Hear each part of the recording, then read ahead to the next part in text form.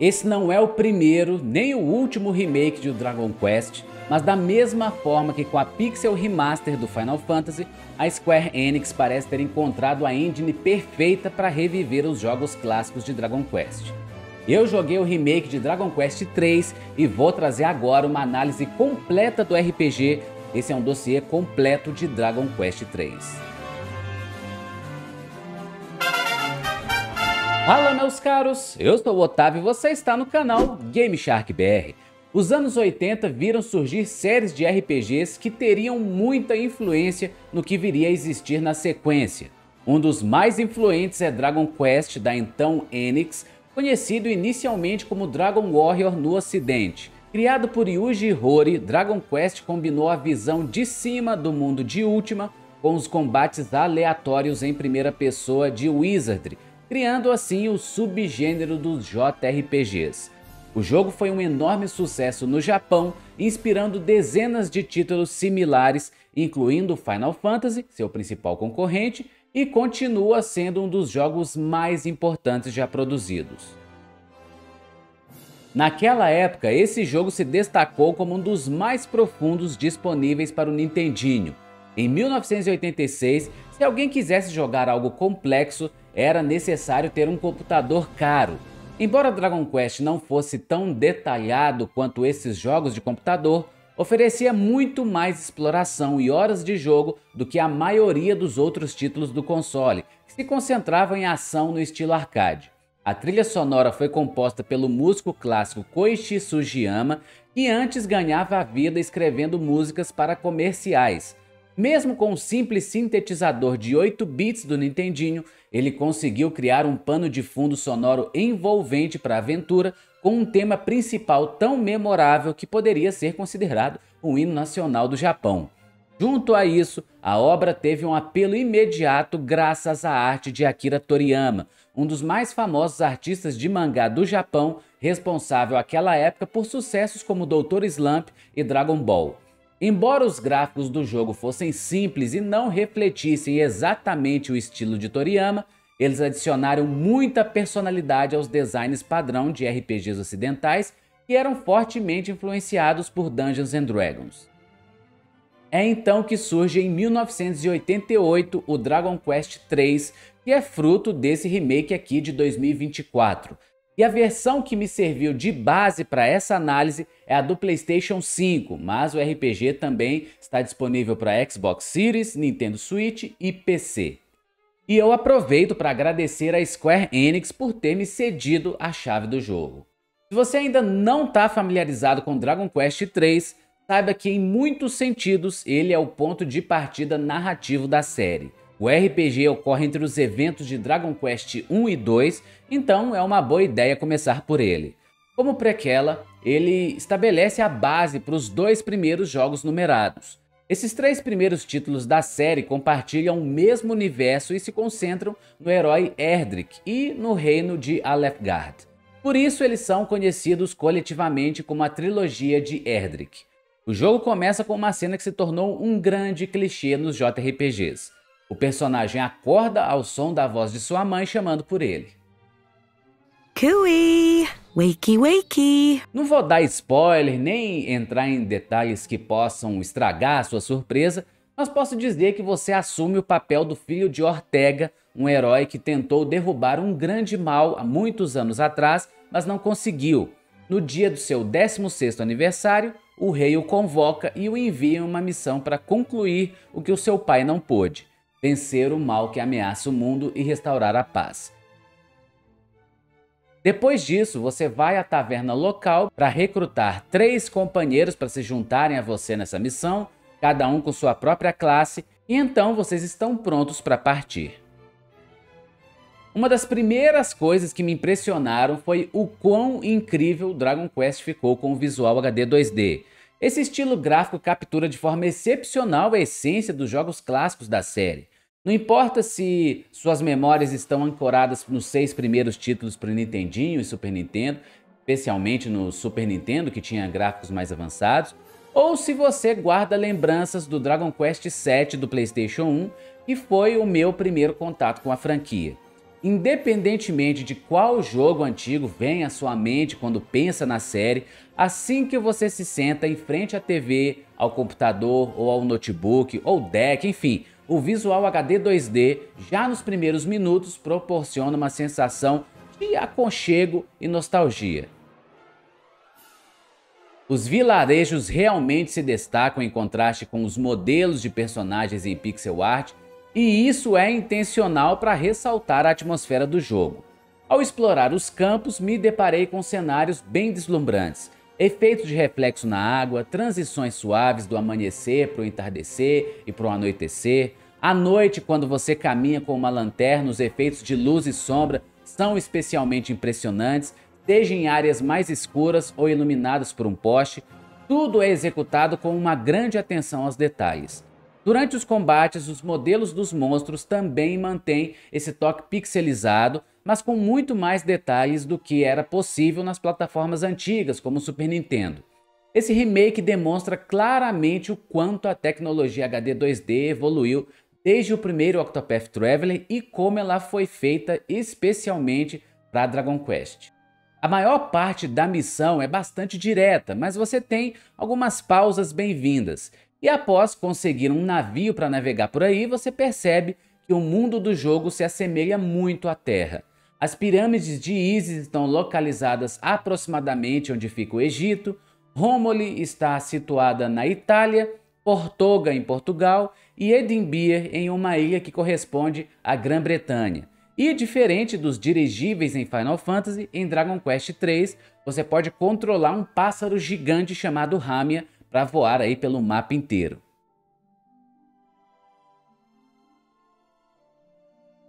Em Dragon Quest 3 tivemos a primeira vez em que qualquer personagem secundário podia resetar a classe ao alcançar o nível 20, visitando um santuário específico no jogo e no remake isso se manteve. Ao fazer a mudança, o personagem volta para o nível 1, mas conserva todas as habilidades e parte das estatísticas adquiridas na classe anterior.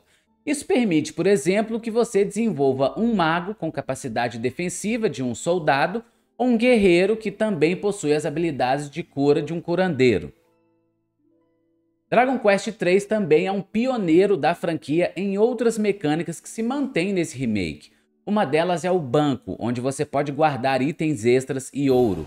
O dinheiro que você deposita não é perdido se você morrer, facilitando a conservação dos seus recursos.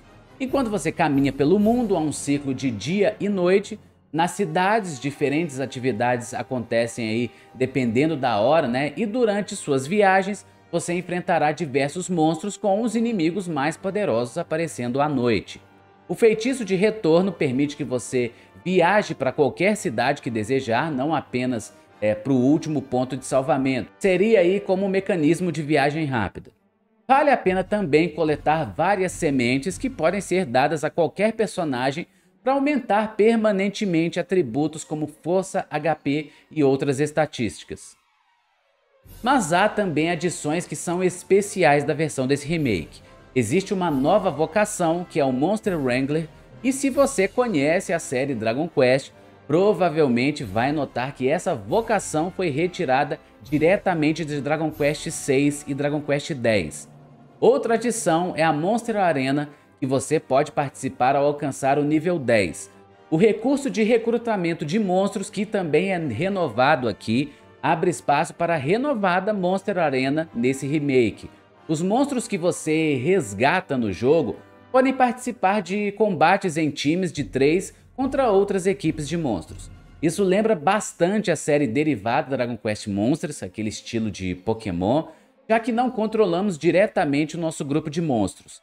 Em vez disso, o trio recebe orientações gerais através do menu de táticas que apenas guiam suas ações, semelhante a como podemos direcionar os membros do grupo se não quisermos é, controlar cada turno manualmente. Podemos instruir os monstros a economizar MP, atacar com força total ou buscar um equilíbrio e os curandeiros podem ser orientados a ficar focados na cura. E se você é aquele cara super ligado na franquia Dragon Quest, sua lembrança não está errada não. A ideia dessa renovada aí Monster Arena foi retirada diretamente de Dragon Quest VIII. E essas adições em especial que a Square Enix fez são muito bem pensadas. Dragon Quest é uma série que gosta de manter a tradição, então se eles estão procurando adicionar novos elementos sem romper muito com o que já existe no mundo de Dragon Quest, faz muito sentido eles referenciarem os títulos já existentes. Mas essas não são as únicas adições, há também algumas boas melhorias de qualidade de vida, como por exemplo os saves, que ainda continuam naquele esquema de ir até a igreja para poder salvar, mas você pode dar o quick saves a qualquer momento, caso precise aí dar uma pausa urgente, tenha que parar por algum motivo, e pode ter certeza que isso vai te ajudar muito. Agora você tem à disposição um mapa maior e um minimapa para cada área do campo e masmorra que você atravessa. Há também um indicador mostrando para onde deve ir em seguida na sua aventura. E tem uma mecânica nova também, que é um sistema de memória. Você pode pressionar um botão para registrar o que a última pessoa lhe disse. É possível memorizar aí até 30 informações e excluí-las caso suas memórias comecem a ficar cheias. Felizmente, se preferir algo mais próximo da experiência do original, todos esses recursos podem ser desativados.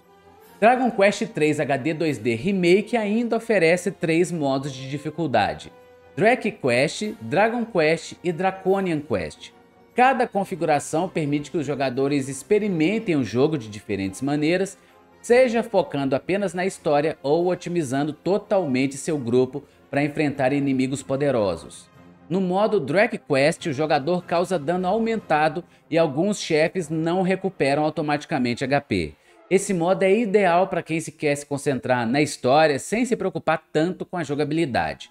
Jogando no modo Dragon Quest é a forma que eu escolhi seguir nessa jornada. Você tem o dano padrão e as quantidades de XP e ouro obtidas são as normais. É uma opção equilibrada para quem busca tanto a história quanto a experiência de jogo. Já no modo Draconian Quest, todos os chefes têm HP aumentado, são mais resistentes que o usual e oferecem menos XP e ouro como recompensa. Esse modo é destinado a quem procura um desafio adicional durante a sua campanha. E já que estamos falando da dificuldade, vamos falar então do sistema de combate. E no combate também tem uma novidade, já que o RPG oferece três níveis de velocidade para as lutas: normal, rápido e ultra rápido. Se você já jogou a versão original e prefere um ritmo mais tranquilo, a velocidade normal é a melhor opção. Eu, por outro lado, escolhi a ultra rápida e é importante destacar que mesmo sendo mais veloz, ainda vai te consumir um certo tempo. Não vai ser aquela sensação de ver um vídeo em 2x no YouTube. Passa rápido, mas é um rápido em que você consegue prestar atenção ao longo do combate. Mas continua sendo fundamental desenvolver estratégias e direcionar seus personagens para que atuem da maneira mais eficiente possível. Em jogos como este, alguns jogadores iniciantes que não estão familiarizados com esse tipo de RPG podem se sentir um pouco frustrados no início. Para tornar a experiência mais acessível, o Dragon Quest III incluiu uma funcionalidade que torna os combates mais automatizados. Dessa forma, você pode definir instruções específicas para cada personagem, isso antes da luta, e a inteligência artificial ajusta as ações conforme for necessário. Os encontros continuam sendo aleatórios, assim como no jogo original, e os desenvolvedores decidiram manter essa característica. Então, há momentos e lugares em que a cada 5 ou 6 passos você entra em um combate. E isso vai ser bem irritante algumas vezes, mas é fato que fez parte da experiência original. Ainda que existam formas e itens para você evitar uma grande quantidade desses encontros, eu particularmente acredito que essa mecânica aí pode mais afastar do que atrair novos jogadores, mas é a maneira que Dragon Quest encontra para preservar a tradição o máximo possível. Até por conta disso, eu acabei não testando muito mais outras formações e classes, preferi seguir com a minha mesma formação do grupo. E se você quer saber qual é a minha equipe, eu tenho o herói, uma guerreira, um sacerdote e uma maga. Até falando em personagens, né, tem mais uma adição legal que é a customização dos personagens, que como eu falei na preview, não é algo profundo como um Baldur's Gate 3, mas dá para fazer algo próprio ali. Você pode nomear, escolher se quer menino ou menina, personalizar a aparência como a cor do cabelo e definir a personalidade desse companheiro de equipe, o que influencia como seu personagem sobe de nível e se desenvolve no jogo. Dragon Quest 3 inclusive recebeu vozes, algo que eu realmente não esperava. Durante as lutas, há sons que acompanham os ataques, dando mais vida à ação, e fora delas qualquer diálogo principal da história está dublado.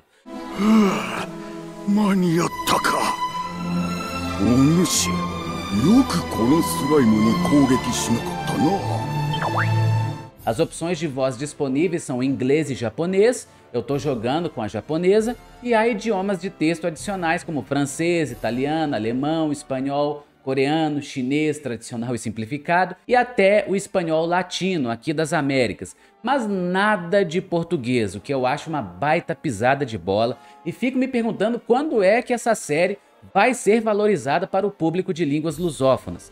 Se você já experimentou os títulos originais de Dragon Quest, ou mesmo é, que sejam as versões atualizadas lançadas aí ao longo dos anos, sabe que uma parte fundamental do RPG é conversar com os moradores das cidades para descobrir para onde ir. E é realmente necessário interagir com eles, pois isso fornecerá insights, né? dicas e pistas aí sobre o seu próximo passo. O desafio é que o jogo utiliza um inglês médio e, para complicar, emprega expressões antigas. Isso pode tornar a compreensão confusa e difícil, é algo que eu falei ainda na preview também, e mesmo para quem tem um conhecimento de inglês, pode haver alguma dificuldade e essa falta de tradução para o nosso idioma pode afastar potenciais fãs da franquia, o que é uma pena. Logo no início é preciso entender tudo, pois você é, terá que fazer escolhas e responder a perguntas. Cada decisão levará a um desafio diferente que definirá a personalidade inicial do herói, influenciando na forma como as estatísticas evoluem. Algumas personalidades podem ser mais adequadas que outras, dependendo aí do seu estilo pessoal. Portanto, essa barreira do idioma é a única preocupação que permanece. De uma forma geral, a nostalgia é o verdadeiro sentimento que Dragon Quest 3 HD 2D desperta. Com a trilha sonora de Koichi Sugiyama, em uma versão remasterizada espetacular, as músicas evocam diversos sentimentos no jogador e junto dos efeitos sonoros característicos da série Dragon Quest. Cada som foi, naquela época, cuidadosamente criado para refletir ações e emoções dentro do jogo. Por exemplo, o som característico ao subir de nível é imediatamente reconhecível e traz uma sensação de progresso e satisfação.